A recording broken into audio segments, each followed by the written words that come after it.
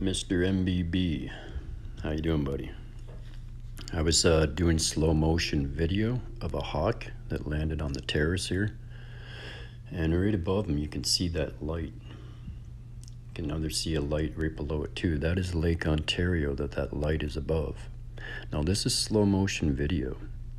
And it took me quite a bit of time to get it to pause right where that is because the light just shows up really quick as you'll see when I let the video play. Um, there was no plane, there was no other lights. I don't see anything following it after. It's only right here in this spot of the video where that light just flashes really quick. Uh, so I thought I'd send it to you, see what you think. Maybe you can check it out, zoom into it, and uh, show your viewers. Mysterious light over Lake Ontario in Toronto, right above a hawk who's about to take flight. Check it out.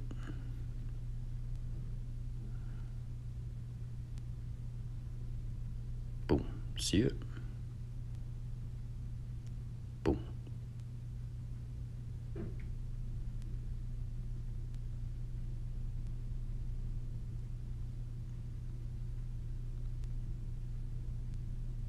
Boom.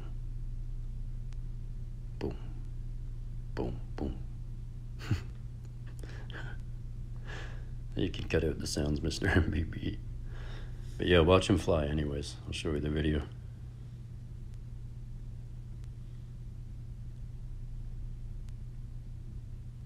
Beautiful. Magnificent, eh?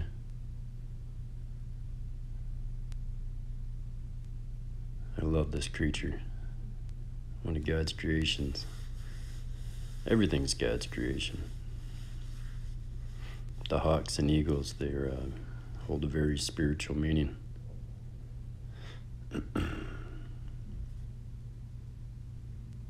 If you hear that banging right now, that's a bunch of elderly abusers that abuse the 90 year old lady that I live with because they have hate in their heart.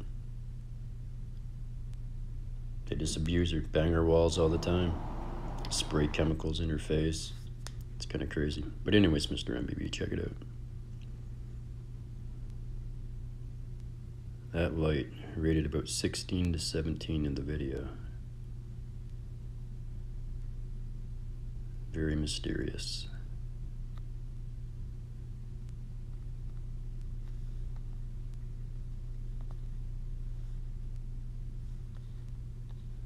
Thanks, brother. God bless, man. Enjoy your family.